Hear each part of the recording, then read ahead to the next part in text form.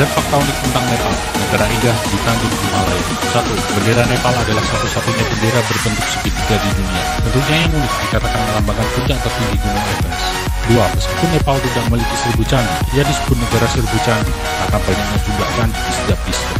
3. Diketahui bahwa Buddha Siddhartha Gautama lahir di Lumbini. Alhasil tempat ini kemudian dinyatakan sebagai situs warisan dunia oleh UNESCO pada tahun 1997. 4. Negara ini sepenuhnya dikelilingi oleh daratan dan tidak memiliki pintu keluar luar. 5. Selain India Utara, Nepal juga merupakan rumah bagi badak India atau badak berjula satu yang kini terancam punah. 6. Nepal tidak pernah dijajah oleh negara lain dan Nepal tidak merayakan hari kemerdekaan. 7. Pegunungan Himalaya juga melewati Nepal. Puncak tertinggi adalah Gunung Everest terletak di antara Nepal dan China. 8.